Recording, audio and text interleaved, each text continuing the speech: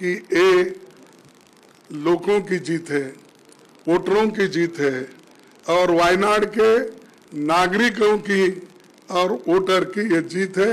वहाँ के लोग भी बड़े खुश हैं।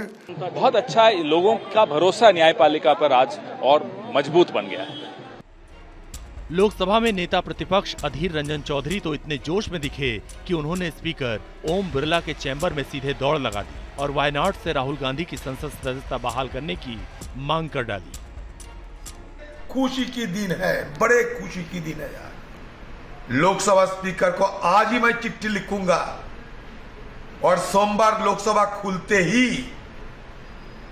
ये मांग करूँगा, इसी वक्त मैं सदन में हूँ मतलब सदन की परिसर में हूँ। अभी अभी जाकर स्पीकर से नहीं तो कम से कम फ़ोन पे, उनसे इस मुद्दे पे हम बात करने के लिए तैयार है, करने जा रहे हैं।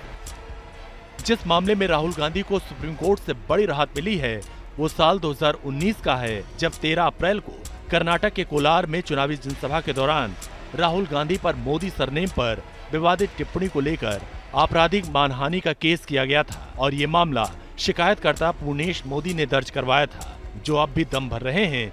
कि वो राहुल गांधी के खिलाफ आखिरी दम तक आवाज़ बुलंद करते रहेंगी। Team News Nation.